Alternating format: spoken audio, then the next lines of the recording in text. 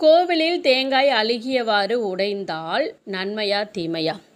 நீங்கள் இன்னும் சேனலை சப்ஸ்கிரைப் பண்ணலைன்னா மறக்காமல் சப்ஸ்கிரைப் பண்ணிவிட்டு இந்த வீடியோவை கண்டினியூ பண்ணுங்கள் உங்களுக்கு இந்த மாதிரி ஆன்மீகம் சம்மந்தமான கேள்விகள் இருந்துச்சுன்னா கமெண்ட் பண்ணுங்கள் அதுக்கான விளக்கத்தை நம்ம வீடியோவாக பார்த்துக்கலாம்.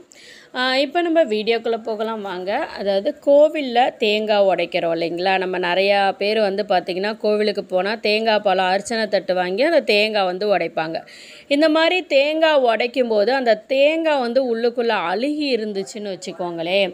நீங்கள் எதிர்பார்த்த காரியங்களில் கொஞ்சம் கால தாமதம் வந்து ஏற்படுங்க. அதுக்கப்புறம் கண்டிப்பாக வெற்றி கிடைக்கும்.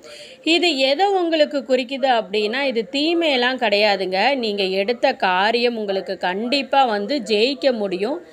ஜெயிக்க முடியும் ஆனால் நீங்கள் அதுக்கு கொஞ்சம் காத்திருக்கணும். அவசரப்பட்டு அந்த காரியத்தை செய்யாமல் விடக்கூடாது. வேணாம் நம்ம போய் ஜெயிக்க போகிறோம் இதை வந்து நம்ம இதை விட்டு விலகிடலாம். இந்த காரியத்தை இதோட நிப்பாட்டிக்கலாம் அப்படின்னு முடிவு எடுக்கிற ஒரு ஐடியாவில் இருந்தீங்கன்னா அதை நீங்கள் மாற்றிக்கணும் நீங்கள் கண்டிப்பாக ஜெயிப்பீங்க. ஆனால் கொஞ்சம் கால தாமதம் ஆகும் அப்படிங்கிறத உங்களுக்கு உணர்த்துறதுக்கு தான் இந்த மாதிரியான இது வருது. இது நல்ல விஷயம்தான். தேங்காய் அழுகி போகிறது அப்படிங்கிறது நீங்கள் பயப்படவே தேவையில்லைங்க.